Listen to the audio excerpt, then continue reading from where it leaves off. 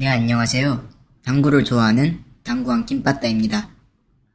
오늘 보시게 될 영상은 더블 쿠션, 비껴치기, 옆돌리기 형태의 더블 쿠션을 감각을 이용해 쳐보도록 하겠습니다. 제가 말씀드리고 싶은 건 여러분은 정답을 이미 알고 있다는 겁니다. 무슨 말이냐고요? 끝까지 시청 부탁드리며 영상 함께 보시죠.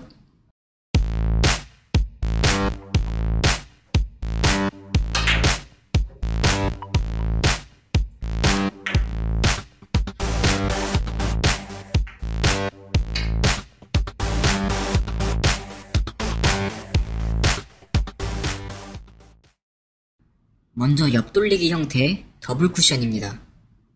배치를 보면서 설명드릴게요.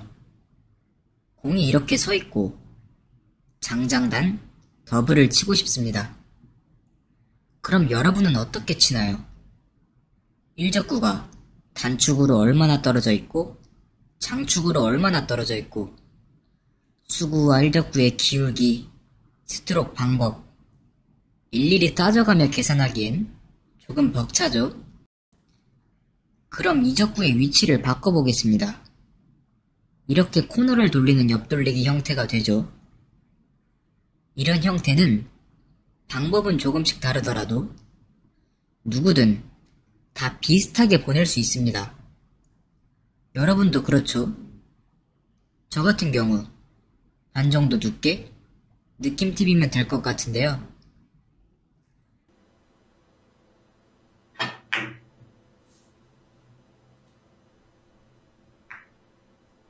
그럼 이 공을 왜 쳤냐?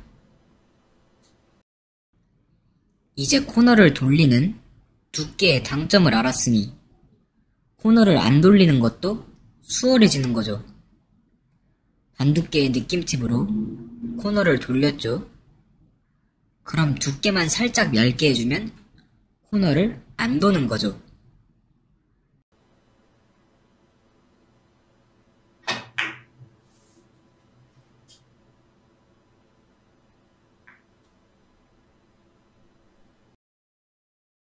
당점으로도 조절을 할 수 있죠. 두께는 반을 쓰고 2번은 회전을 무회전에서 느낌 정도로 역회전 팁을 주겠습니다.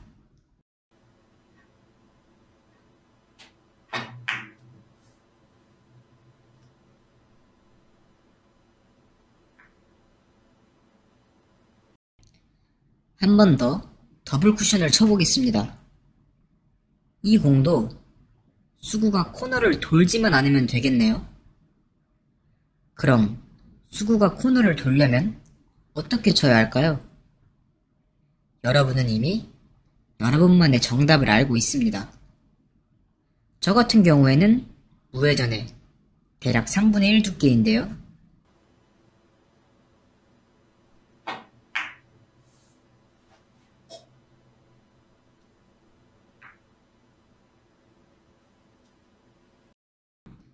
이제 답이 나왔죠. 코너를 돌리지만 않으면 되니까 똑같은 무회전에 두께만 4분의 1 정도로 줄인다던가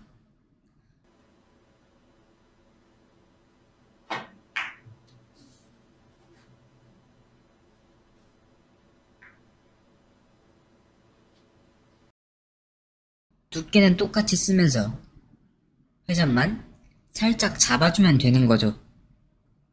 간단하죠?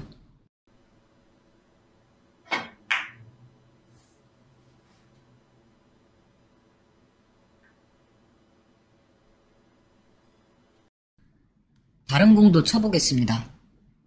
이번에도 코너를 돌지만 않으면 됩니다. 그럼 먼저 코너를 돌릴 줄 알아야겠죠? 여러분은 어떤가요? 저는 대충 8분의 5에서 6 두툼한 두께 중상단 투팁으로 그냥 툭 대주면 될 것 같습니다.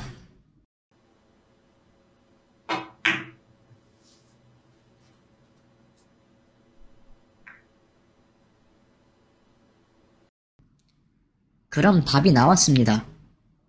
코너를 안 돌리면 되니까. 똑같은 회전에 두께만 반 정도로 줄여도 되고,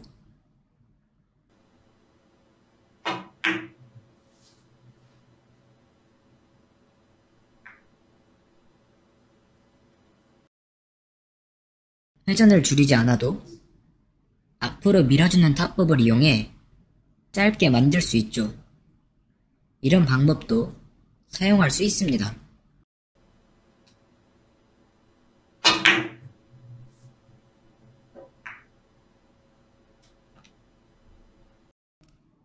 비껴치기 형태 더블에도 그대로 적용할 수 있습니다.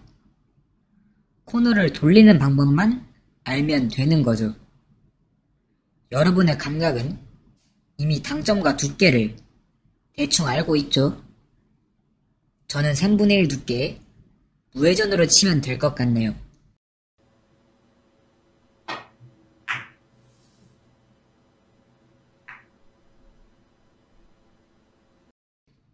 먼저 당점을 조절해서 쳐보겠습니다.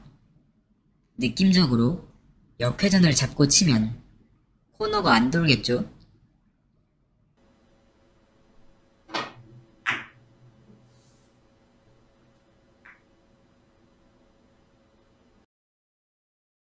아니면 중하단 당점으로 밀림을 살짝만 억제한다거나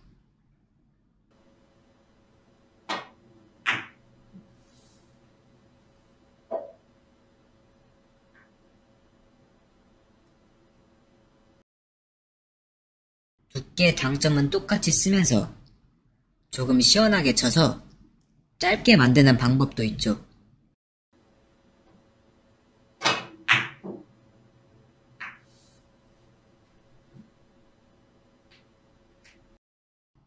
비슷한 공이죠.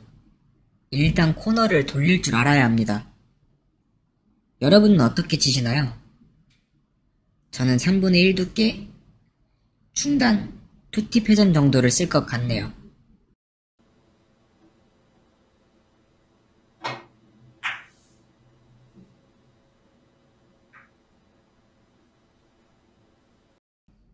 이제 답이 나왔으니 간단하죠.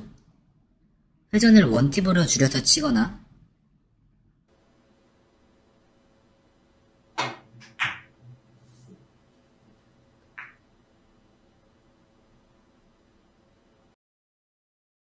두께 당점은 그대로 대신 뒷손을 풀고 툭 놔줘서 회전이 덜 먹게 친다거나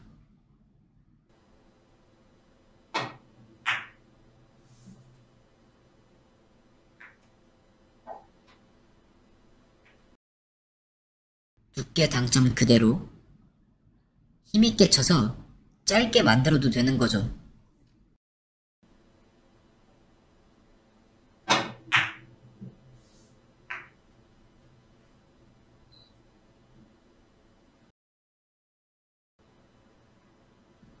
오늘은 옆돌리기, 비껴치기 형태의 더블 쿠션.